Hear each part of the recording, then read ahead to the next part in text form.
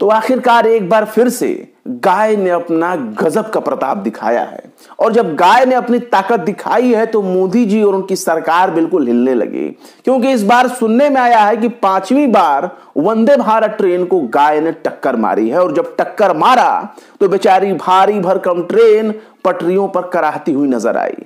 लंबे समय तक ट्रेन को रोका गया, उसकी नाक को ठीक ठाक किया गया, चलने लायक उसको बनाया गया, उसके बाद ट्रेन अपने गंतव्य को रवाना हो गई। लेकिन सबसे बड़ी बात यह है कि आखिर गाय ने ऐसा कौन सा टॉनिक पिया था जो ट्रेन से ज़्यादा मज़बूत हो गई? जय दोस्तों, मैं हूँ शम्स तबरेज और आप देख रहे हैं टाइम्स मेल। वंदे भारत को पांचवी दफ़ा एक गाय ने टक्कर मारी है, या फिर यह कह लें कि पटरियों पर घूमने वाले मवेशी ने वंदे भारत को टक्कर मारी। इससे पहले चार बार और ऐसे वाक्यात हो चुके हैं उसी गुजरात गुजरात में, जहाँ पर मोदी जी इस वक्त चुनाव का प्रचार कर रहे हैं। और ये ट्रेन मोदी जी की ही देन है, जिसको आज गाय, भैंस, बैल देखते ही अपना सिंह दिखाने लगते हैं और जिसके बाद ट्रेन का क्या हालत होता है, वो वंदे भारत एक्सप्रेस का थोबड़ा देखने के बाद आपको पता चल जाएगा। इस तस्वीर में देखिए, इस तस्वीर में कमज़ोर होती सिर्फ़ अर्थव्यवस्था की झलक नज़र नहीं आ रही है। इस तस्वीर में यह भी नज़र आ रहा है कि कैसे आज़ादी के 70-75 साल के बाद आज गाय इतनी मज़बूत हो गई है कि वो ट्रेन को टक्कर देने लगी है और ट्रेन को अपने सिंग से मार मार कर घायल करने की ताकत आज के गाय, भैंस बैलों में हो चुकी है। इससे पहले ऐसा कभी नहीं हुआ कि गाय के टक्कर से, भैंस के टक्कर से, बैल के टक्कर से ट्रेन इस तरीके से जख्मी नज़र आए, टूट फूट जाए। इससे पहले यह होता था कि झुंड के झुंड गाय, भैंस, चाहे कोई भी जानवर ट्रेन के सामने आते ही उनकी मौत हो जाया करती थी। वो मर जाया करते थे ट्रेन की जोरदार टक्कर के बाद। लेकिन पहली बार ऐसा देखा, देखने को मिल रहा है कि मोदी जी के राज में ही और मोदी जी के राज्य में इस तरह की घटनाएँ हो रही हैं खासकर गुजरात को। गुजरात में मोदी जी चुनाव प्रचार कर रहे हैं और गाय उनके विकास की पैमाइश कर रही है। केंद्र से लेकर राज्य तक उनके कितनी मज़बूत सरकार चलाई जा रही है, उस ट्रेन की मजबूती के नापने के साथ ही लोगों के सामने पेश हो जा रहा है। आखिर कैसे घट घटी ये घटना और कब कब इस तरह के वाक्यात घटे हैं, जरा एक बार नज़र डालते हैं, ताकि पता चल सके कि मोदी जी के राज में आखिर गाय ने ऐसा कौन सा टॉनिक पिया है। आखिर गाय ने ऐसा कौन सा पदार्थ खाया है कि उसकी मजबूती ट्रेन से ज़्यादा हो गई। काश वो मजबूती निर्मला सीतारमण को मिल जाती, ताकि वो देश की अर्थव्यवस्था को ज़्यादा मज़बूत कर सकें और डॉलर को कमज़ोर कर सकें, रुपया के मुकाबले, रुपया को वो जान दे सकें। और रुपए के साथ साथ आप ट्रेन वाली घटनाओं को जरा देख लीजिए। वंदे भारत एक्सप्रेस जो है, बीते गुरुवार को जो है, गांधीनगर से मुंबई जा रही थी, तभी गुजरात की वलसाड में गाय ने टक्कर मार दी। इस बार टक्कर के कारण ट्रेन का जो अगला हिस्सा जिसे नोज़ कहते हैं, वो बिल्कुल हिल गया, बिल्कुल टूट गया। और ये घटनाएँ कई बार देखने को मिली है कि जब गाय, भैंस, बैल किसी भी जानवर से वंदे भारत की टक्कर हुई है तो उसका आगे का नाक जो है सबसे पहले टूट गया है। लेकिन नाक टूटने का सिलसिला क्या सिर्फ़ रेलवे की है? ये नाक तो रेलवे की टूटी ही टूटी है। साथ में बैठे हुए केंद्र में बड़े बड़े नेता बड़े बड़े मंत्री और बड़े बड़े संतरी भी गाय के टक्कर से उनकी नाक को सहलाते हुए नज़र आ रहे हैं। अब देखिए कि ये मात्र एक डेढ़ महीने के भीतर यह पांचवी घटना है। इससे पहले वलसाड ज़िले के ही अतुल में वंदे भारत एक्सप्रेस जो है, वो दुर्घटना का शिकार हो गई थी और उस वक्त भी एक जानवर ने ही उसे टक्कर मारा था। हालाँकि हादसे के बाद ट्रेन को जो है 15-20 मिनट तक खड़ा रखा गया। इससे पहले 8 नवंबर को जो है, गुजरात के आनंद में वंदे भारत ट्रेन की जो है, चपेट में आने की वजह से एक महिला की मौत भी हो गई थी। लेकिन 29 अक्टूबर को गांधीनगर से मुंबई जा रही वंदे भारत एक्सप्रेस वलसाड के अतुल में दुर्घटनाग्रस्त हो गई। ट्रेन के सामने अचानक बैल के आ जाने से उसका अगला हिस्सा क्षतिग्रस्त हो गया। ये मैं मीडिया रिपोर्ट्स के हवाले से बता रहा हूँ, हालाँकि इस दौरान किसी भी यात्री को कोई चोट नहीं आई थी। इसी तरह 6 अक्टूबर को ऐसा ही घटना पेश आया। मुंबई से अहमदाबाद जा रही ट्रेन बटवा और मणिनगर स्टेशन के पास पशुओं के झुंड से टकरा गई। इस घटना में भी वंदे भारत एक्सप्रेस का अगला हिस्सा टूट गया।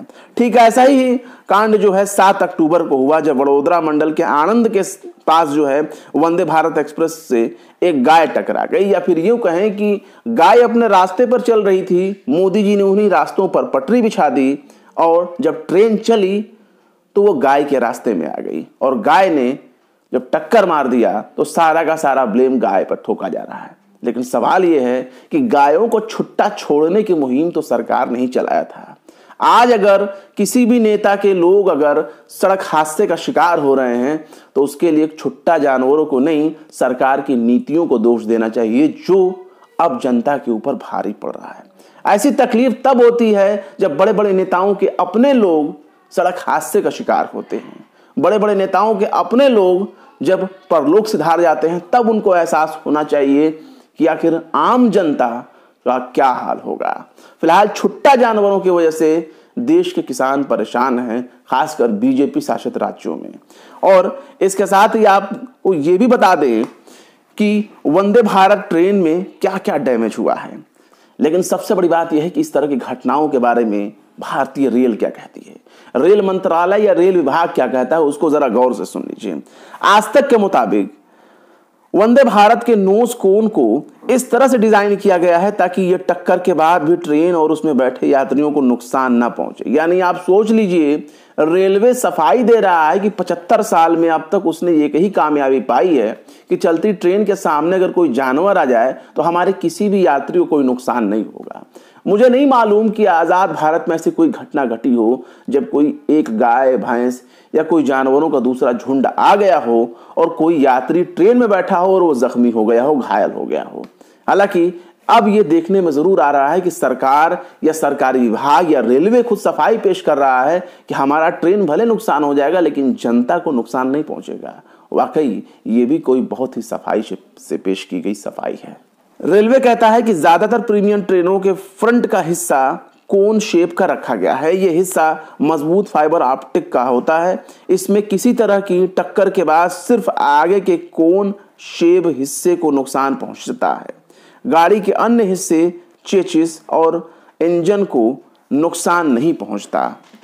हालाँकि इस साल के अगर चीज़ों को गौर किया जाए तो इंडिया टुडे आज तक बता रहा है कि 4000 ट्रेनें मवेशियों के कारण जो है प्रभावित हुई हैं। अब पता नहीं रेलवे को इससे कितना नुकसान हुआ होगा, कितना फ़ायदा, लेकिन सियासी गलियारों में वंदे भारत ट्रेन को पांचवी बार जिस तरीके से गाय के आगे कमज़ोर पाया गया, उसकी चर्चा बहुत जोरों शोर से हो रही है। अब राजस्थान यूथ कांग्रेस को ही देख लीजिए, जिसने ट्विटर पर गजब का तंज कसा और लिखा, वंदे भारत ट्रेन कमज़ोर नहीं है गाय ज़्यादा मज़बूत हो गई है। वंदे भारत एक्सप्रेस पांचवी बार हादसे का शिकार। गुजरात के वलसाड में ट्रैक पर गाय से टकराई। वहीं सुरेंद्र राजपूत लिखते हैं कि मोदी जी, आज भी वंदे भारत ट्रेन को गाय ने घायल कर दिया। वंदे भारत एक्सप्रेस पांचवी बार हादसे का शिकार। गुजरात के वलसाड में ट्रैक पर गाय से टकराई। वहीं दूसरी तरफ़ एक और चीज़ गौर कर लें। शैलेंद्र चतुर्वेदी लिखते हैं, गौ माता बीजेपी को सदबुद्धि दो। क्या वंदे भारत एक्सप्रेस ट्रेन हड़बड़ी में तैयार की गई? रोज़ाना इन हादसों की वजह क्या है? ये बहुत बड़ा सवाल खड़ा किया जा रहा है, खास तौर से विपक्षी दल कांग्रेस की तरफ़ से। अब देखिए, तानिया यादव क्या लिखती हैं? ट्विटर यूज़र है तानिया यादव लिखती हैं कि सवारी की सुरक्षा से पहले तो ट्रेन की सुरक्षा का ध्यान रखना पड़ेगा।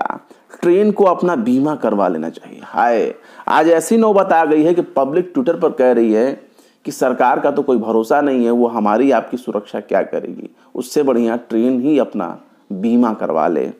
और तो और, पत्रकार विपनेश माथुर लिखती हैं, ये वंदे भारत को किसकी नज़र लग गई? हाय। वहीं दूसरी तरफ़ प्रीति चौबे लिखती हैं कि, गऊ माता वंदे भारत एक्सप्रेस से नाराज़ काहे हैं? लगता है नींबू मिर्ची नहीं टांगा था क्या? ये तंज कसा जा रहा है? वंदे भारत एक्सप्रेस के इस तरह से हालात को देखते हुए कि अब उसे कोई भी जानवर आती है, कोई भी जानवर आता है या गौवंश आता है और दो चार सिंग मारकर घायल कर देता है। सबसे बड़ी बात यह है कि रूबिका लियाकत कहाँ है? उन्हें तो सबसे पहले रेलवे से पूछना चाहिए कि आखिर वो कोई अपने ट्रेनों को टॉनिक वॉनिक देते हैं क्या? आखिर ट्रेन इतनी कमज़ोर क्यों हो गई? कहीं वो टॉनिक गाय ने तो नहीं पी ली, कहीं वो मजबूती गाय को तो नहीं हो गई। फ़िलहाल क्या कहेंगे इस वीडियो के बारे में? कमेंट बॉक्स में ज़रूर बताएँ। वीडियो पसंद आए तो लाइक करें, शेयर करें और बेपाक निष्पक्ष, स्वतंत्र पत्रकारिता को सपोर्ट करने के लिए हमारे चैनल टाइम्स मेल को ज़रूर से ज़रूर सब्सक्राइब करें और हाँ बेल आइकन का घंटी वाला बटन ज़रूर दबा दें ताकि हमारे चैनल पर आने वाले नए वीडियो नोटिफिकेशन आपको फ़ौरन ही मिल जाए। फिर मिलते हैं किसी और वीडियो में एक नई खबर के साथ। शम्स तबरेज को दीजिए इजाज़त। जय हिंद। तो देख लिया आपने हमारे इस वीडियो को। हमें उम्मीद है कि आपने हमारे वीडियो को लाइक किया होगा और दूसरों को भी शेयर किया होगा। अगर अभी तक आपने हमारे चैनल टाइम्स मेल को सब्सक्राइब नहीं किया है तो जल्दी से सब्सक्राइब कर दें और बेल आइकन भी प्रेस कर दें।